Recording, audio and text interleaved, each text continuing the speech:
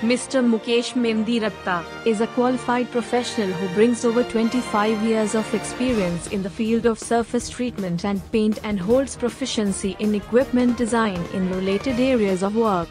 He is qualified chemical engineer and closely worked with major global automobile OEMs and has rendered excellent support on corrosion protection techniques. Mr. Mukesh implemented many Kaizens that have worked as catalysts for energy consumption, cost reduction and improvising quality at various OEMs. A multitasker, has competently worked in various departments like R&D, technical services, marketing and management. For the last 10 years he has been heading operations as management representative of Nihon Parkerizing India Private Limited, and has been the pillar of support during the developmental phase of the organization.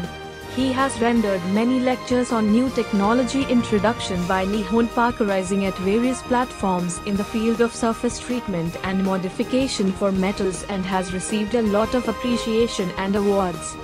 In 2015 he received special appreciation from the Pollution Control Board of Tamil Nadu State.